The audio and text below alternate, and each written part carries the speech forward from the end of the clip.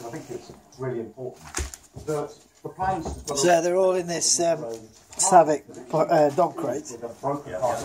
Well, it's, it's in the lounge. They've all had a good play. a big night like Tuesday. Played with all this lot. if the field does get through, there needs to be immediate legislation And uh, we've got paper down because we want them to sort of for her to, to proceed. target um, this paper as something they should get mean, we do. I mean, Toilet on. She said to be resilient, but we need to be clear They've had about the dinner. her um, liability. for- Then obviously they're now just sort of stuck to the uh, from the start it was absorbing the ambience of the lounge, If- if Tuesday, if stood up which is good for them. Genuinely now. rather than them being stuck up in a bedroom. That would be They're part of the family Hasn't. So- and getting used to what will be You mentioned this now, there's an awful lot of a normal occurrence for them. Yeah. before we leave on the, at the end of March. Yeah, right.